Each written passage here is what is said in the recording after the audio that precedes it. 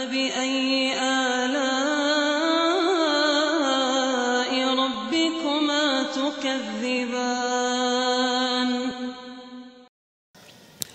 Iya. Kemudian saya terangkan di halaman 28 tentang beberapa amalan yang disyariatkan khusus di 10 hari pertama bulan Dzulhijjah ini. Ada amalan-amalan yang disyariatkan khusus di situ. Di antaranya adalah berpuasa. Di antaranya adalah apa? Berpuasa. Sebenarnya tanpa ada hadits ini juga sudah cukup. Berpuasa disyariatkan. Karena sudah masuk di dalam konteks umum. Hadits Ibnu Abbas yang telah kita sebutkan. Puasa adalah amalan solih. Bagian dari amalan solih.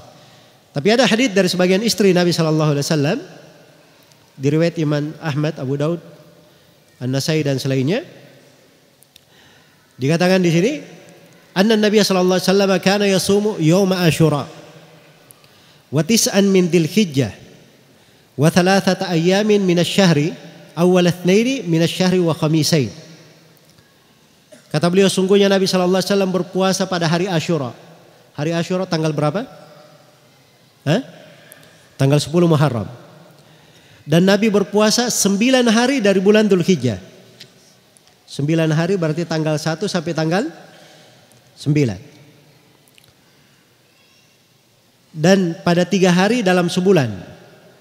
Yaitu Senin awal dari bulan berjalan dan dua Kamis. Dan dua Kamis.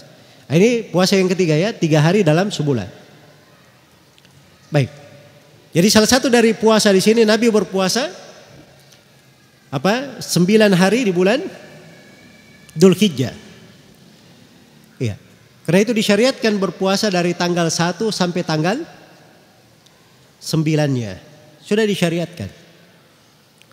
Nah, khususnya di tanggal 9. Khususnya di tanggal 9 itu ada keutamaan khusus.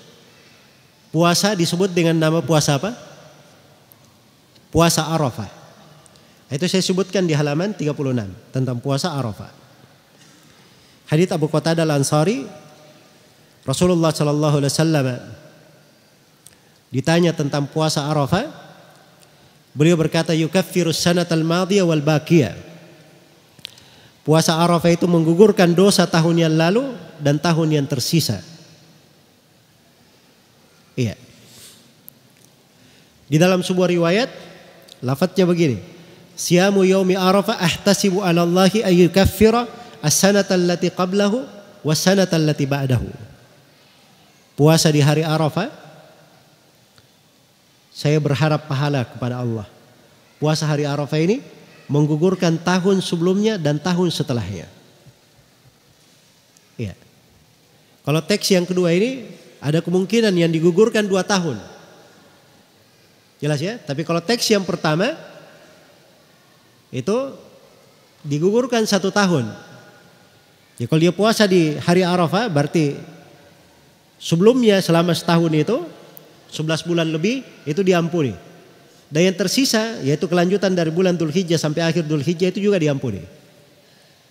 Jelas ya? Baik ini dua kemungkinan dan kita berharap dari keutamaan Allah Subhanahu wa taala. Baik. Jadi ini terkait dengan puasa ya. Hanya saya di sini di pembahasan puasa ini ada keadaan sebagian yang bertanya. Dia bertanya begini, bukankah ada hadis dari Aisyah bahwa Nabi katanya tidak pernah dilihat oleh Aisyah berpuasa di 10 hari pertama bulan Dhul Hijjah? Ya. Kita katakan iya benar itu ada hadisnya, riwayat Aisyah. Tapi hadis Aisyah itu itu dikatakan bahwa Aisyah radhiyallahu taala anha ya itu berbicara sesuai dengan kadar yang beliau ketahui. Adapun istri Nabi yang lain dia juga berbicara dengan apa yang dia lihat, kan begitu? Ya. Jadi sepanjang sudah disaksikan oleh istri Nabi yang lain bahwa Nabi berpuasa, maka itu tidak ada masalah. Dan itu biasa ya, seorang suami berpuasa istrinya nggak tahu itu biasa. Ya, kadang terjadi. Ada sebagian ulama salaf itu, dia berpuasa sudah lebih 50 tahun, sudah puluhan tahun dia puasa, Senin Kamis. Tapi istrinya tidak pernah tahu bahwa dia berpuasa. Bagaimana ceritanya? Kalau pagi dia pergi, dia ambil bekalnya. Jadi orang di rumah pikirnya dia tidak puasa karena bawa bekal. Kan begitu? Ya. Bekalnya dia bawa, di tengah jalan dia sedekahkan ke orang. Nanti waktu berbuka, baru dia pulang ke rumah dekat-dekat berbuka. Jadi sampai ke rumah maghrib, ya dia minum kemudian makan bersama keluarganya seakan-akan makan malam. Tidak puasa. Jadi keluarganya tidak pernah tahu bahwa dia puasa. Jelas ya? Baik. Jadi ini mungkin terjadi. Karena itulah ketika sudah ada dari istri Nabi yang mengabarkan seperti itu, maka kaidahnya alladhi indahu ilm hujjah ala man lam ya'lam. Orang yang punya ilmu itu dia hujjah, argumen terhadap orang yang tidak mengetahui. Terhadap orang yang tidak mengetahui. Baik, itu jawaban ringkasnya ya dan di situ ada keterangan saya terangkan dari halaman 130 sampai 131. Ada lagi yang bertanya begini. Ya. Bagaimana kalau hari Arafah itu bertepatan dengan hari Jumat? Misalnya ada orang dia hanya sanggup berpuasa di hari Arafahnya saja. Iya. Dan subhanallah pada tahun itu hari Arafahnya bertepatan hari apa? Hari Jumat. Nah, ini kalau di masyarakat awam dia katakan Arafah kalau bertepatan hari Jumat itu namanya katanya Haji Akbar. Haji Akbar. Pernah dengar ini? Hah? Ya, itu masyhur ya di masyarakat awam. Tapi itu dibangun di atas dasar hadith yang lemah. Kalau mau tahu tahu Haji Akbar yang benarnya apa? Haji Akbar itu tanggal 10 Dhul Hijjah. Hari nahar. Nah, itu yang disebut Yomi Al-Hajjil Akbar. Hari haji terbesarnya. Tanggal 10 Dhul Hijjah. Baik. Itu yang benarnya di dalam penamaan syariat. Jadi kalau misalnya hari Arafah bertepatan dengan hari Jumat. Apakah boleh berpuasa? Jawabannya boleh saja. Karena dia berpuasa karena dia berpuasa untuk Arafahnya, bukan karena Jumat dia berpuasa. Dia berpuasa untuk apa?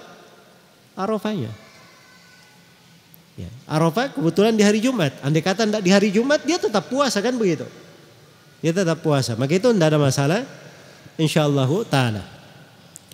Ya dan puasa ini itu disyariatkan untuk orang yang tidak haji. Kalau dia haji, afdolnya dia tidak berpuasa.